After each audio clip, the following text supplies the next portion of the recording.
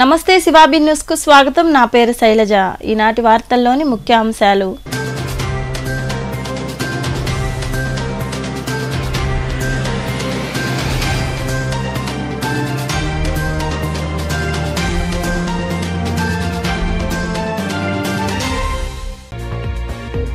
అధికారంలోకి రారని తెలిసిన టీడీపీ నాయకులు ఎన్ని ఛాలెంజ్లైనా విసురుతారు.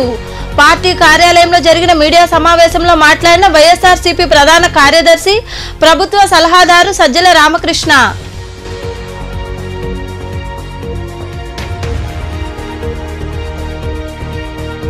రాజకీయాల నుంచి ప్రతిఫలం ఆశించని వ్యక్తి వేమిరెడ్డి ప్రభాకర్ రెడ్డి. వైఎస్ఆర్సీపీకి రాజీనామా చేసిన సందర్భంగా ఆయన నివాసానికి చేరుకుని సంఘీభావం తెలియజేసి శాలువాలతో ఘనంగా సత్కరించి పార్టీలోకి ఆహ్వానించిన టీడీపీ నాయకులు.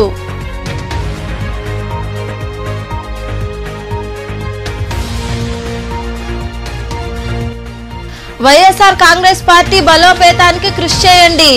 నెల్లూరు నగరంలో వైఎస్ఆర్సీపీ నాయకులు నిర్వహించిన భారీ బైక్ ర్యాలీలో పాల్గొన్న మంత్రి కాకాని గోవర్ధన్ రెడ్డి.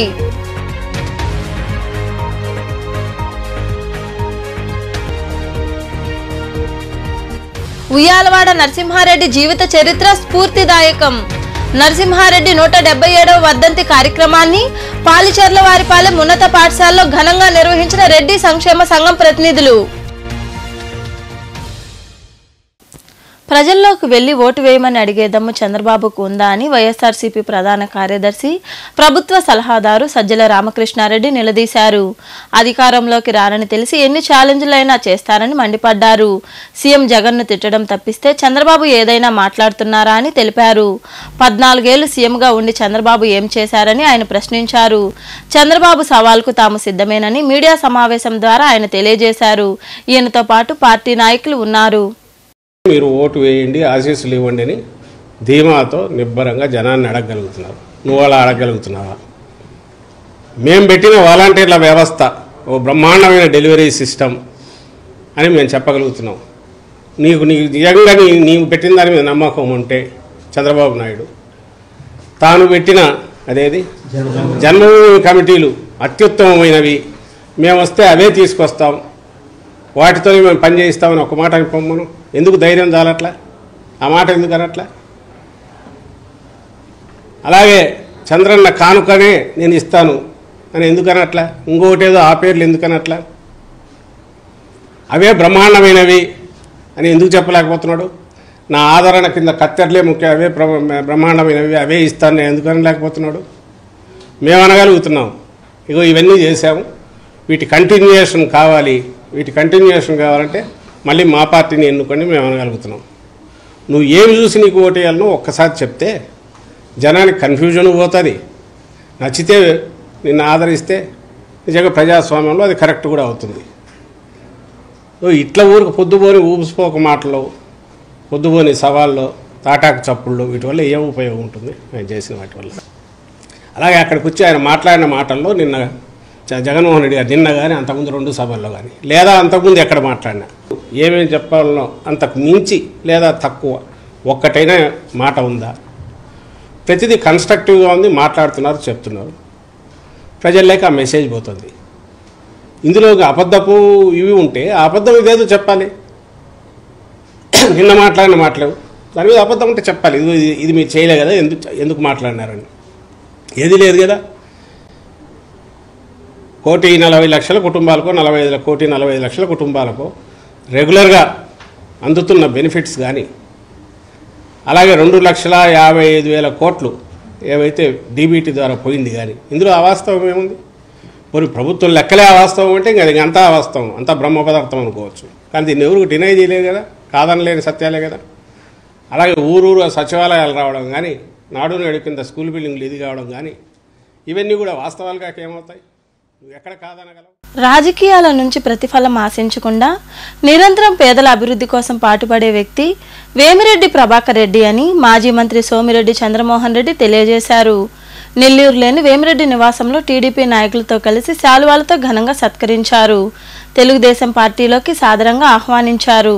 నెల్లూరు నగరంలోని వేమిరెడ్డి ప్రభాకర్ రెడ్డి నివాసానికి తెలుగుదేశం పార్టీ నాయకులు పెద్ద ఎత్తున తరలి వెళ్ళారు వైఎస్ఆర్ కాంగ్రెస్ పార్టీకి రాజీనామా చేసిన సందర్భంగా టీడీపీ నాయకులు ఆయన శాలువాలతో ఘనంగా సత్కరించారు.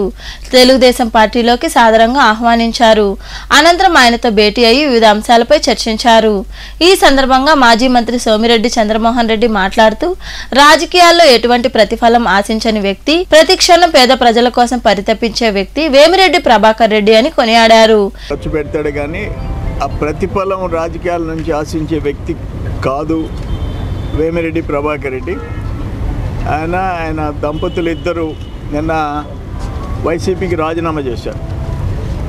సో ఎనివే నెల్లూరు జిల్లాలో పాత నెల్లూరు జిల్లా ప్లస్ కందుకూరు పదకొండు సీట్లలో వాళ్ళకి ఇద్దరు ముగ్గురు ఎమ్మెల్యేలు తప్ప ఎవరు మిగిలిన పరిస్థితి కనపడలే. నెల్లూరు నుంచే స్టార్ట్ అయింది. జగన్మోహన్ రెడ్డికి రివర్స్ ఇక్కడి నుంచి స్టార్ట్ అయింది. ఆయన ప్రతిదానికి రివర్స్ టెండర్ అంటాడు కదా రివర్స్ స్ట్రోక్ ఆయన పార్టీ నుంచి ఆయనకి వారి డిక్టేషన్ అంటే ప్రజాస్వామ్యంలో ఉన్నాం. ప్రజాబద్ధంగా నాయకులు ఎన్నుకోబడతారు. కానీ ఈరోజు ఈ రాష్ట్రంలో మీకు అందరికీ తెలిసిందే జరుగుతున్న పరిపాలన రాక్షస పరిపాలన. వేమిరెడ్డి ప్రభాకర్ లాంటి వాళ్ళు ఇప్పుడే చంద్రమోహన్ గారు చెప్పారు డబ్బుల కోసంగా రాజకీయానికి రాలా గౌరవం కోసం. అటువంటి గౌరవం లేని దగ్గర ఉండటం ఎందుకనే ఉద్దేశంతో వాళ్ళు బయటకు రావడం జరిగింది. అయితే మా పార్టీ అధినాయకుడు తెలుగుదేశం పార్టీ అధినాయకుడు నారా చంద్రబాబు నాయుడు గారి యొక్క ఆదేశాల మేరకు అంతేకాకుండా ఈరోజు నెల్లూరు ఉమ్మడి జిల్లాలో ఉన్న పది కాన్స్టిట్యూన్స్ ఇన్ఛార్జెస్ నాయకులు మరియు అందరం కలిసి ఈరోజు యాక్చువల్గా వచ్చి వేమిరెడ్డి ప్రభాకర్ రెడ్డిని ఈ కార్యక్రమంలో పొంగూరు నారాయణ టీడీపీ నెల్లూరు పార్లమెంట్ అధ్యక్షుడు అబ్దుల్ అజీద్ తాళ్ళపాక రమేష్ రెడ్డి పార్టీ జాతీయ ప్రధాన కార్యదర్శి Beeda Ravichandra Nellore rural MLA Kotamreddy Sridhar Reddy Gudur incharge Pasam Sunil Kumar నాయకులు కార్యకర్తలు తదితరులు పాల్గొన్నారు. రాష్ట్ర వ్యవసాయ శాఖ మంత్రి కాకాని గోవర్ధన్ రెడ్డి నెల్లూరులోని ఆయన నివాసం నుంచి వైఎస్ఆర్సీపీ నాయకులు కార్యకర్తలు నిర్వహించిన భారీ బైక్ ర్యాలీలో మంత్రి పాల్గొన్నారు. వెంకటాచలం మండలం చమడగుంటలోని స్ట్రీట్స్ కళ్యాణ మండపంలో జరిగిన అభినందన కార్యక్రమంలో మంత్రి పాల్గొని మాట్లాడారు.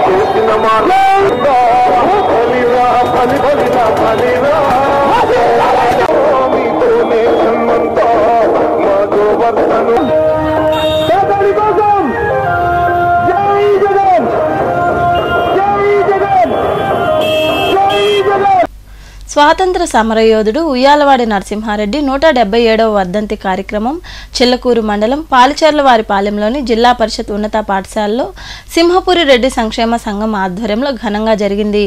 ఈ సందర్భంగా వారు విద్యార్థులకు వక్తృత్వ వ్యాచరచన పోటీలు నిర్వహించి బహుమతులు అందజేశారు. అలాగే పదవ తరగతి విద్యార్థులకు విద్యా సామాగ్రిని అందజేశారు. ఈ కార్యక్రమంలో రెడ్డి సంక్షేమ సంఘం నాయకులు సనత్ కుమార్ రెడ్డి చంద్రశేఖర్ రెడ్డి రామ్మోహన్ రెడ్డి రాజేందర్ రెడ్డి విజయ్ భాస్కర్ రెడ్డి ధనుంజయ రెడ్డి సిద్ధార్థ రెడ్డి హరినాథ్ రెడ్డి తదితరులు పాల్గొన్నారు.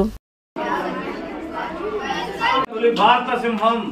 అప్పట్లోనే ఎంతో చైతన్యవంతంతో వాళ్ళని ఎదుర్కొని పోరాటం చేశారు. వారు నలభై ఒక్క సంవత్సరంలో మాత్రమే జీవించారు. పద్దెనిమిది వందల ఆరో సంవత్సరంలో జన్మిస్తే పద్దెనిమిది వందల నలభై ఏడో సంవత్సరంలో కోయిలకుంట్లలో చనిపోయారు. వారు ఎంతో సేవ చేశారు. వారి స్ఫూర్తితోనే ఎంతో మంది నాయకులు భారత స్వాతంత్ర సంగ్రామంలో పాల్గొని స్వాతంత్రం కోసం పోరాటం చేశారు. వాళ్ళ తర్వాత వారిని ఆదర్శంగా తీసుకొని చేయటం వల్ల సిపాయిల తిరుగుబాటు వచ్చింది. ఆ తర్వాత వంద సంవత్సరములకు స్వాతంత్రం వచ్చింది. ఇట్లా వారు యొక్క వర్ధంతిని మన పాఠశాలలో జరుపుకుంటున్నాము. అదేవిధంగా రెడ్డి సంక్షేమ సంఘం వాళ్ళు పూలే గారిని కూడా బీసీ సంఘానికి సంబంధించి పూలే గారిని కూడా ఆయన వచ్చిన తర్వాతనే పరిచయం చేశారు. అంతకుముందు పూలే గారు కూడా ఎవరో కూడా చాలా మంది తెలియజేశారు. అట్లాంటి ఉయ్యాలవాడ నరసింహారెడ్డి గారు పోరాటం అనేది అదొక పెద్ద చరిత్ర. వారు చాలా చిన్న వయసులోనే అంటే నలభై ఏళ్ళ లోపలే ఆయన్ని చంపేశారు. ఆ చంపటం అనేది కూడా చాలా దారుణంగానే చంపారు. అందరికీ తెలిసిన విషయమే కొత్తగా చెప్పాల్సిన అవసరం లేదు. తుపాకీలు కత్తులతో ఆయన మెడ గొంతు కోసి ఆయన కోట గుమ్మానికి ముప్పై సంవత్సరాల పాటు ఎలాంటి తీశారంటే ఎంత దారుణం మనం ఆలోచిస్తే ఒళ్ళు గూస్ బంప్స్ వస్తాయి. ఒకసారి కానీ మనం తలుచుకున్నామంటే అందుకని మనం అప్పుడప్పుడు ఆగస్టు పదిహేను వస్తుంది.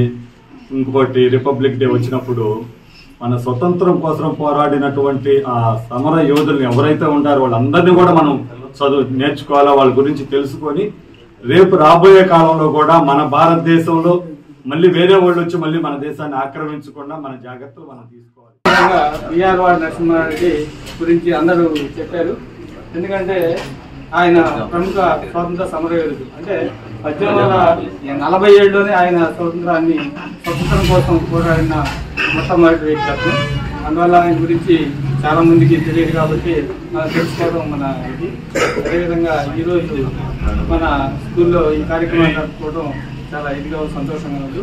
అదేవిధంగా ఇక్కడ టెన్త్ క్లాస్ పిల్లలు ఉన్నారు కాబట్టి వాళ్ళకు కూడా తెలియజేసేది ఏమంటే మా సింహపుల రెడ్డి సంక్షేమ సంఘం తరఫున ఈసారి టెన్త్ క్లాస్లో బాగా ఫస్ట్ మార్కులు పాస్ అయిన వాళ్ళకి మంచి ప్రధాన మంచి బహుమతి కూడా మేము అందిస్తామని ఈ సందర్భంగా తెలియజేస్తున్నాను. ఎందుకంటే రాష్ట్ర అభివృద్ధే లక్ష్యంగా ఓ విజయంతో ముందుకెళ్ళే టీడీపీ అధినేత నారా చంద్రబాబు నాయుడు నాయకత్వంలో నడిచే తాము మాట తప్పే వ్యక్తులము కాదని ఖచ్చితంగా ప్రజాదరణతో రానున్న ఎన్నికల్లో టీడీపీ ప్రభుత్వం అధికారంలోకి వచ్చి ప్రజల సమస్యలు తీరుస్తుందని మాజీ మంత్రి పొంగూరు నారాయణ తెలియజేశారు.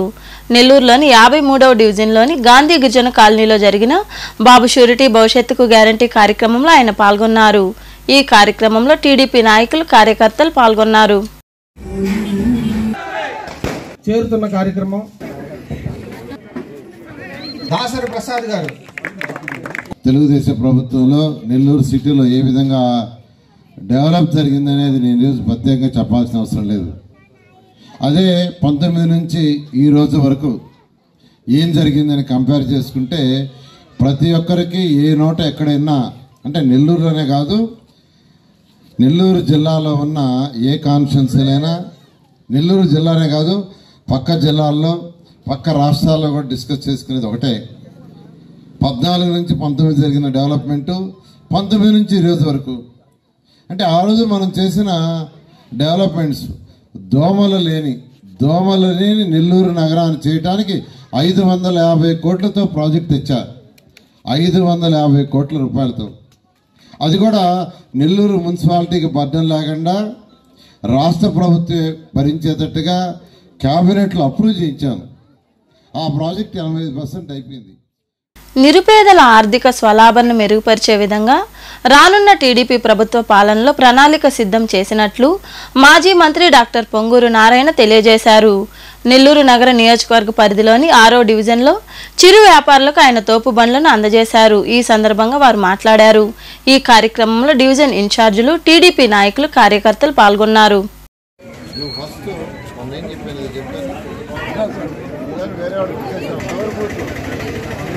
నెల్లూరులో ఆరవ డివిజన్లో నేను తిరిగినప్పుడు కొంతమంది పేదలు నిరుపేదలు కింద యాక్చువల్గా నేల మీద ఒక చిన్న టవర్ లాంటిది పెట్టుకొని దాని మీద కొందరైతే కూరగాయలు కొందరైతే ఫ్రూట్స్ కొందరైతే పూలు అలా అమ్ముకోవటం జరుగుతుంది అవన్నీ చూడటం జరిగింది. వాళ్ళలో కొందరు యాక్చువల్గా అయితే రిక్వెస్ట్ చేశారు సార్ మాకు ఏదైనా తోపుడు బండి లాంటివి ఇస్తే దాని ద్వారా ఇక్కడే అమ్ముకోవటం కాకుండా దాని ద్వారా మళ్ళీ మిగతా ప్లేసులు కూడా ఆ తోపుడు బండిని నెట్టుకుంటా పోతూ అమ్ముకోగలం. అంతేకాకుండా అపార్ట్మెంట్లు ఆ ఏరియాలో కూడా అమ్ముకోవటానికి ఇదైతే కేవలం కింద టవర్లో లేదంటే ఒక చిన్న చాపో లాంటి ఏదో ఒకటి వేసి అక్కడే అమ్ముకోవాల్సి వస్తుందని రిక్వెస్ట్ చేశారు. దాని మీద యాక్చువల్గా ఈ రోజు యాక్చువల్గా ఆరో డివిజన్లో ఒక ముగ్గురికి యాక్చువల్గా తోవుడు తోపుడు బండ్లు ఇవ్వటం జరిగింది.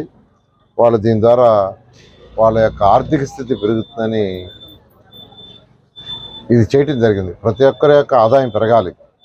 ఈరోజు ముఖ్యమంత్రి నారా చంద్రబాబు నాయుడు గారు తను ఇచ్చిన భవిష్యత్ గ్యారంటీలో పీ ఫోర్ అనే ఒక ప్రోగ్రాం ఇచ్చాడు. పీ ఫోర్ మనుబోల్లోని శ్రీ సాయిబాబా మందిరంలో గురువారం రాత్రి బాబాకు ప్రత్యేక పూజలు పల్లకీ సేవ వంటి కార్యక్రమాలు వైభవంగా నిర్వహించారు. అర్చకులు శ్రీనివాసులు పూజలు నిర్వహించి భక్తులకు తీర్థ ప్రసాదాలు అందజేశారు. ఈ కార్యక్రమాలకు ఉభయదాతలుగా మనుబోలు గ్రామానికి చెందిన దువ్వూరు బుజ్జిరెడ్డి కుసుమ దంపతులు వారి కుటుంబ సభ్యులు వ్యవహరించారు.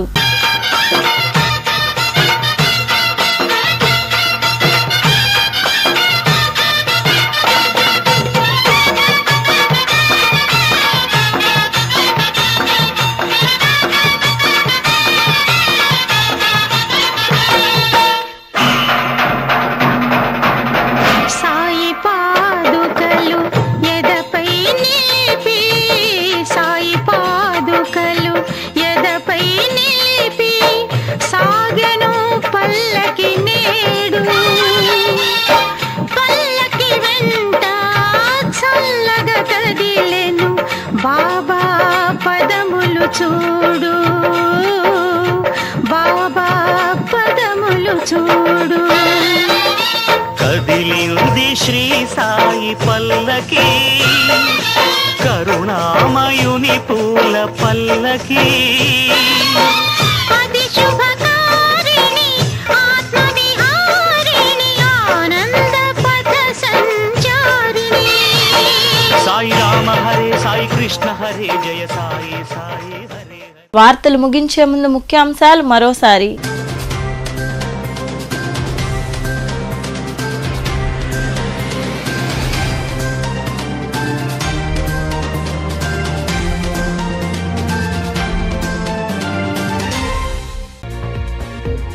అధికారంలోకి రారని తెలిసిన టీడీపీ నాయకులు ఎన్ని ఛాలెంజ్లైనా విసురుతారు. పార్టీ కార్యాలయంలో జరిగిన మీడియా సమావేశంలో మాట్లాడిన వైఎస్ఆర్సీపీ ప్రధాన కార్యదర్శి ప్రభుత్వ సలహాదారు సజ్జల రామకృష్ణ.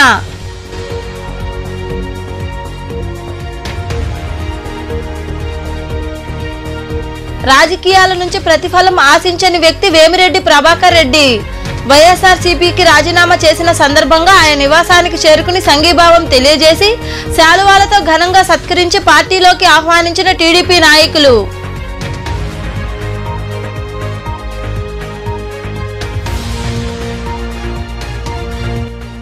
వైఎస్ఆర్ కాంగ్రెస్ పార్టీ బలోపేతానికి కృషి చేయండి. నెల్లూరు నగరంలో వైఎస్ఆర్సీపీ నాయకులు నిర్వహించిన భారీ బైక్ ర్యాలీలో పాల్గొన్న మంత్రి కాకాని గోవర్ధన్ రెడ్డి.